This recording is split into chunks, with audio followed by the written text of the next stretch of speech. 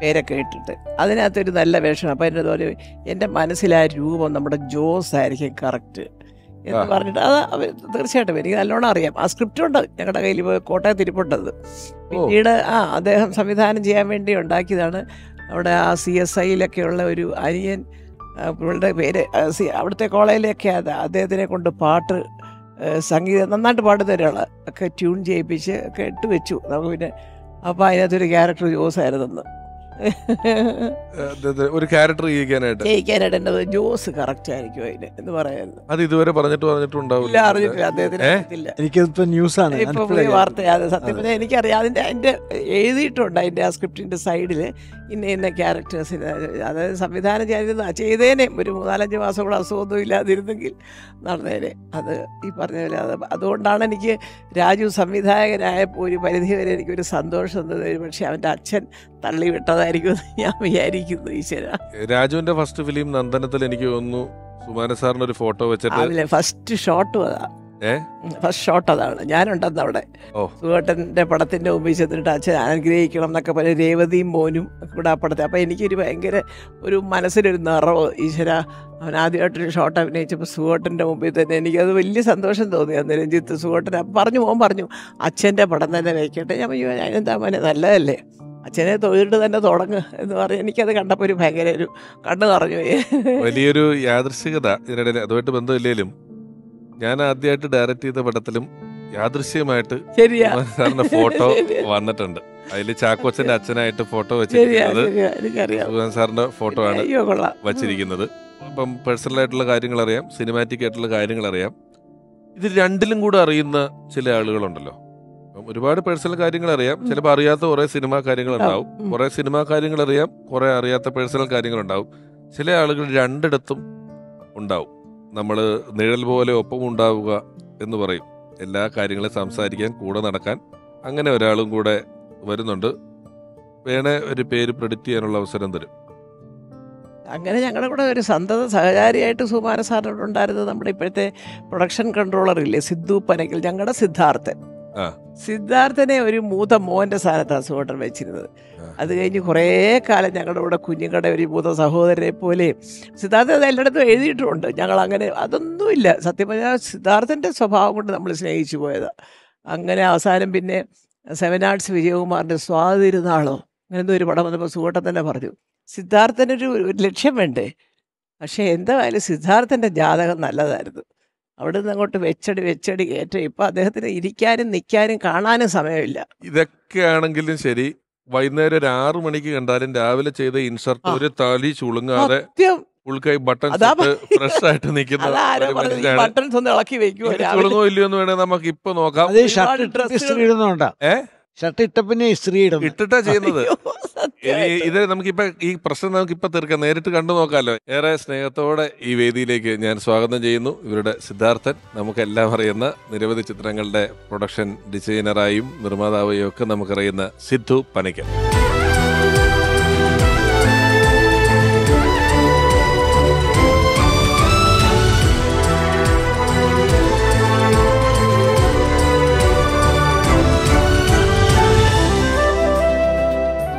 എനിക്ക് വയ്യ ഞാൻ. പറഞ്ഞതേ ഉള്ളു കേട്ടോ. മൂത്ത മോന്റെ സ്ഥാനത്ത് സിദ്ധേട്ടാ. ഒരാളുണ്ടായിരുന്നു. പക്ഷെ ഇപ്പൊ കാണാനും ഇല്ല ഒരു രക്ഷയില്ല. ഭയങ്കര ഞാൻ ഫേസ്ബുക്കിൽ എപ്പോഴും കാണും. നിങ്ങളെ കുറിച്ച് മാത്രമേ പറയുള്ളൂ. ഞങ്ങളിവിടെ സിദ്ധാർത്ഥന്റെ ഷർട്ടിന്റെ ഈ ബട്ടൺസിന്റെ കഥ പറഞ്ഞു കേട്ടോ. ഇതൊന്ന് ആരെങ്കിലും ഒന്ന് പൊട്ടിച്ച് വെക്കാമെങ്കിൽ രാവിലെ മറ്റേ അഞ്ചര മണിക്ക് വിളിക്കും.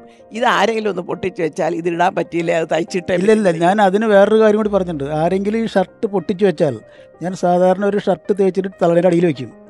കാരണം ഇത് പൊ- ആരെങ്കിലും പൊട്ടിച്ചിട്ടുണ്ടെങ്കിൽ എനിക്ക് തീർത്തിട്ട് സമയത്ത് തന്നെ ചെല്ലാലോ വിളിക്കാൻ. പക്ഷെ ഇത് ഒരു ജോസേട്ട ലൊക്കേഷനിലൊക്കെ പോയാൽ കാണാം ഒരു ഏഴ് മണി എട്ട് മണിക്ക് ഈ ഒടിവുണ്ടാവും. ഈ മടക്കി തേച്ച് സാധനം സാധനമൊക്കെ. തേച്ച് തേച്ച് നിൽക്കുന്ന സിദ്ധേട്ട ഇപ്പം പറഞ്ഞു പതിനെട്ടാമത്തെ വയസ്സിൽ അവിടെ അവിടെ എന്ന് പറഞ്ഞു. എങ്ങനെയാ ചെന്ന് അതെ. ഞാൻ ഈ ആദ്യം ഞാൻ തുടങ്ങുന്നത് എൺപതിൽ ആണ്. അന്ന് അവിടെ പതിനാല് പതിനഞ്ച് വയസ്സ് പതിനാറ് വയസ്സൊക്കെ ഉള്ളൂ. നസീർ സാറിന്റെ കൂടെ മലയാള ചലച്ചിത്ര പരിഷത്തിലാണ് ഓഫീസ് ബോയ് ആയിട്ട്. ചെന്നൈയിൽ. ചെന്നൈയിൽ.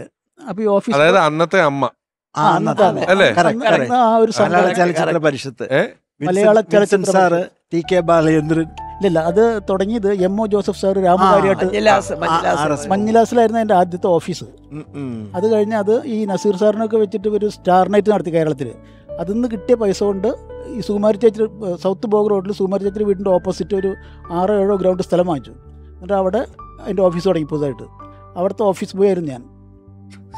അങ്ങനെയാണ് അതാണ് അതാണ് ഞങ്ങളുടെ കാലം. ഒറ്റ. പ്രോഗ്രാമിൽ ഞങ്ങൾ ആറ് സെന്റ് സ്ഥലം വാങ്ങിച്ചറിയാവോ ആറ് സെന്ററിൽ വെച്ച് ആറ് ഗ്രൗണ്ടാണ് ഒരു ഗ്രൗണ്ട് ശരിയാ. അപ്പൊ ആറ് ഗ്രൗണ്ട് എത്ര സെന്റ് മുപ്പത് മുപ്പത് അഞ്ച് അഞ്ചേകാൽ സെന്റ് ഒരു ഗ്രൗണ്ട് അഞ്ചര സെന്റ് അപ്രോക്സിമേറ്റ്ലി അഞ്ച് സെന്റാണ് ഒരു ഒരു ഗ്രൗണ്ട്. ഇത് അറിഞ്ഞായിരുന്നെങ്കിൽ ഇടവേള ബാബിച്ചേട്ടൻ ഇപ്പൊ തലയിറങ്ങി വീണേനെ.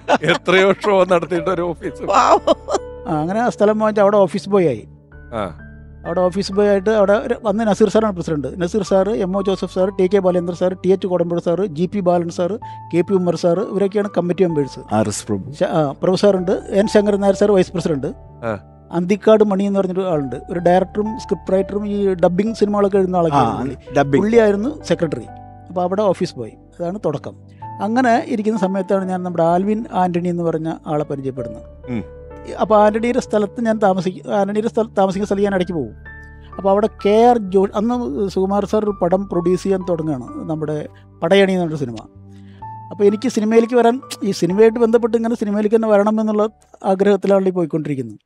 അപ്പോൾ ആനണിനെ പരിചയപ്പെട്ടപ്പോൾ ആനണി പറഞ്ഞപ്പോൾ സുമാർ സാറിന്റെ പടം തുടങ്ങുകയാണ്. അപ്പോൾ അവിടെ അപ്പോൾ ആനണി എന്നോട് പറഞ്ഞത് ഇപ്പോൾ കെ ആർ ജോഷി എന്ന് പറഞ്ഞിട്ടൊരു അസോസിയേറ്റ് ഡയറക്ടർ ഉണ്ട്. ടി എസ് മോഹൻ സാറാണ് അതിൽ ഡയറക്ടർ ഡയറക്ടർ മമ്മൂട്ടി സാറ് ലാലേട്ടൻ ദേവൻ സാറ് ശോഭന ചേച്ചി സുമാർ സാറൊക്കെയാണ് അതിൽ അഭിനയിക്കുന്ന ആൾക്കാർ പിന്നെയുണ്ട് കുറേ ആൾ ബാസി സാറ് ഒക്കെ ഉണ്ട്. അപ്പോൾ എനിക്കിങ്ങനെ സിനിമയിലെ ആഗ്രഹം മനസ്സിലാക്കിയപ്പോൾ ആനണി പറഞ്ഞു ഞാൻ സാറിനെ പരിചയപ്പെടുത്താമെന്ന് പറഞ്ഞു. പരിചയപ്പെടുത്താൻ നല്ല ശരിക്കും ആനണി പറഞ്ഞത്. ആദ്യം പറഞ്ഞത് ഷൂട്ടിങ്ങിന്റെ അപ്പോൾ ഷൂട്ടിംഗ് തുടങ്ങിയിട്ടുണ്ട്. അപ്പോൾ ഷൂട്ടിങ്ങിന്റെ സെറ്റിലേക്ക് വരിക വന്നിട്ട് അവിടെ എവിടെയെങ്കിലും ഇങ്ങനെ പതിഞ്ഞൊക്കെ നിൽക്കണം. കാരണം സാറ് കണ്ടാൽ ഈ ഒരു നമുക്ക് ഈ ഷൂട്ടിങ്ങിന് ആ ഇല്ലാത്തൊരാൾ ആ സെറ്റിൽ ഇല്ലാത്ത ഒരാളെ കണ്ടാൽ സാറിന് പെട്ടെന്ന് മനസ്സിലാവും. അപ്പോൾ അതുകൊണ്ട് ധാരാന്ന് ചോദിക്കും. അപ്പോൾ അതുകൊണ്ട് ഒക്കെ ശ്രദ്ധിച്ച് നിൽക്കണം എന്നൊക്കെ പറഞ്ഞ് ഷൂട്ടിംഗ് സ്ഥലത്തേക്ക് എന്നെ കൊണ്ടുപോയിരുന്നു. അതിലിടയ്ക്ക് ഒരിക്കൽ എന്നെ കൊണ്ടുപോയിട്ട് ചേച്ചീനെ പരിചയപ്പെടുത്തി. സാറ് സാറില്ല അവിടെ ചേച്ചീനെ മാത്രം പരിചയപ്പെടുത്തിയിട്ട് പോന്നു.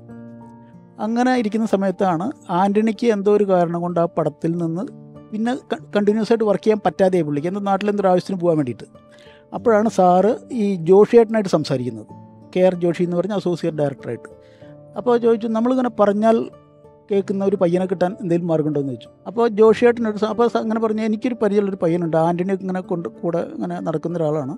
നല്ല പയ്യനാന്ന് തോന്നുന്നു. ജോഷ് സാറിന് തോന്നുന്നു അല്ല ജോഷിയേട്ടൻ സുമാർ സാറിനോട് പറയുന്നു ഒരു ദിവസം രാത്രി വീട്ടിലിരുന്നിട്ട്. അങ്ങനെ ഞാൻ പിറ്റേ ദിവസം രാവിലെ സാറിനെ കാണാൻ ചെന്നു. സാറിനെ കാണാൻ ചെല്ലുമ്പോൾ സാർ അന്ന് ന്യായവിധി ആവനാഴി എന്നൊക്കെ പറഞ്ഞ സിനിമകൾ അഭിനയിക്കുന്ന കാലമാണ്. തലയൊക്കെ മുട്ടടിച്ചിട്ട് മുടി മുളച്ചു വരുന്നുള്ളൂ അപ്പോൾ ഞാൻ അവിടെ ചെന്ന് നിന്നിട്ട് സാറിങ്ങനെ സാറിന്റെ കണ്ണ് ശ്രദ്ധിച്ചിട്ടുണ്ട്. ഭയങ്കര തീഷ്ണമായ കണ്ണുകളാണ് സാറിന്റെ. അതായത് നമ്മുടെ നേരെ ഒരു നോട്ടം നോക്കിയാൽ നമ്മുടെ ഉള്ളിലുള്ള മുഴുവൻ ചുഴിഞ്ഞെടുക്കാൻ പറ്റും പാകത്തിലുള്ള അത്രയും തീഷ്ണമായ നോട്ടുള്ള ആളാണ്. പുള്ളി സിനിമയിലും കാണാം അങ്ങനെ. ചില നോട്ടൊക്കെ കണ്ട ആൾ പേടിക്കും. അപ്പോൾ എന്നോട് ചോദിച്ചു എന്താ പേര്? സിദ്ധാർത്ഥൻ. എവിടുന്ന്? നാടെവിടെ ഗുരുവായൂർ. തനിക്ക് എന്റെ പടത്തിന്റെ പ്രൊഡക്ഷൻ മാനേജർ ആകാൻ പറ്റുമെന്ന് ചോദിച്ചു. അപ്പോൾ ഞാൻ എടുത്ത ഞാൻ ഒരു സെക്കൻഡ് ആലോചിച്ച് മറുപടി പറഞ്ഞു. ഈ പ്രൊഡക്ഷൻ മാനേജർ എന്ന് പറഞ്ഞാൽ എന്താണെന്ന് എനിക്ക് അറിയില്ല എന്ന് പറഞ്ഞു. നല്ല അപ്പോൾ ചേച്ചിയൊക്കെ അകത്തുണ്ടായിരിക്കും. വീടിന്റെ ഉള്ളിൽ ഉണ്ടാവും ചേച്ചി. അപ്പോൾ ചേച്ചി ഞാൻ പറഞ്ഞു തരുന്ന കാര്യങ്ങൾ തന്നെ എനിക്ക് ചെയ്യാൻ പറ്റുമെന്ന് ചോദിച്ചു. അപ്പോൾ ഞാൻ തീർച്ചയായിട്ടും ചെയ്യാൻ പറ്റുമെന്ന് പറഞ്ഞു. ആ എന്നാൽ തന്നെ എന്റെ പടത്തിന്റെ പ്രൊഡക്ഷൻ മാനേജറാക്കുക എന്ന് പറഞ്ഞു. സന്തോഷം. ആ അപ്പോൾ ഒരു ഇത് മാത്രമല്ല എന്നോട് ചോദിച്ചു സാർ താൻ എവിടെ താമസിക്കണമെന്ന് ചോദിച്ചു. അപ്പോൾ ഞാൻ പറഞ്ഞു അങ്ങനെ വടപഴനിയിൽ ഒരു വടപഴനിയിലാണ് എന്റെ ഒരു അമ്മായിന്റെ ഒരു ബന്ധുണ്ട് അവിടെ താമസിക്കാൻ പറഞ്ഞു. തനിക്ക് ഇവിടെ താമസിക്കൂടെന്ന് ചോദിച്ചു.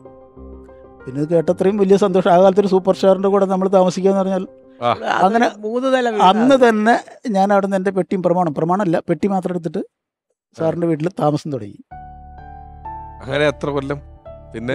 പിന്നെ ഈ പടയണി എന്ന് പറഞ്ഞ പടത്തിന്റെ ഷൂട്ടിംഗ് മുഴുവൻ അപ്പോൾ സാർ എനിക്ക് ഒരു ശമ്പളം തീരുമാനിച്ചു. ഈ പടത്തിന് സാറിന്റെ കൂടെ നിൽക്കുന്നതിന് ഒരു ശമ്പളം. അതുകൂടാതെ ഈ പടത്തിന് ഒരു എമൗണ്ട് തീരുമാനിച്ചു. അത് കഴിഞ്ഞ് പടയണി കഴിഞ്ഞു. പടയണി കഴിഞ്ഞ കഴിഞ്ഞ കാലത്താണ്. കുറച്ച് കഴിഞ്ഞപ്പോൾ സാറ് എന്നോട് പറഞ്ഞു നമ്മൾ ഉടനെ കണ്ടിന്യൂസ് സിനിമ എടുക്കും. സിദ്ധാർത്ഥിന് പ്രൊഡക്ഷൻ മാനേജറായിട്ട് തുടരാമെന്നൊക്കെ പറഞ്ഞു. പക്ഷേ സാറ് വീണ്ടും അഭിനയത്തിൽ ഭയങ്കര തിരക്കായി പോയി.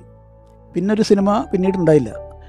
അപ്പോൾ അങ്ങനെ ആ സമയത്താണ് തിരുവനന്തപുരത്തേക്ക് ഷിഫ്റ്റ് ചെയ്യുന്നത് അവിടെ നിന്ന് ഇങ്ങോട്ട്. നിങ്ങളും ആ സമയത്ത് ഈ കഥ കേൾക്കലും പരിപാടികളൊക്കെ ഇപ്പോൾ ഉള്ള പോലെ തന്നെ അത്ര ഉണ്ടോ? അതൊരു വലിയ പല വലിയ സംവിധായകരൊക്കെ ആണെങ്കിൽ കഥ പറച്ചിലൊന്നും ഇല്ലല്ലോ? ഇപ്പൊ ഇപ്പോഴത്തെ പോലുള്ള വിശദമായ പറച്ചിലൊന്നും ഇല്ല. ഒരു പടമുണ്ട് ഡേറ്റ് ഇതാണ് ആ, ക്യാരക്ടർ ഇതാണ്. എന്നൊക്കെ പറഞ്ഞ്. ഇന്ന ഡേറ്റിൽ ഞാൻ വരും. അത് ഞാൻ എഴുതിത്തരാം ഡേറ്റ് എഴുതിത്തരാം. നീ ഒന്ന് നോട്ട് ചെയ്തേക്കണം ഡയറിയിൽ എഴുതിയേക്കണം. ആർക്കും കൊടുക്കരുത്. ആ ഡേറ്റ് വേറെ ആർക്കും കൊടുക്കരുത്. അത്രേ ഉള്ളൂ. അത്ര വലിയ ആൾക്കാർ പറയുള്ളൂ സ്ക്രിപ്റ്റ് വായിച്ചിട്ടുള്ള അവന് അതൊന്നും അന്നൊന്നും ഞാൻ കണ്ടിട്ടില്ല. നമ്മുടെ വീട്ടിൽ വന്നിരുന്ന ആരും ഫുൾ സ്ക്രിപ്റ്റ് വായിച്ചിട്ടും ഇല്ല.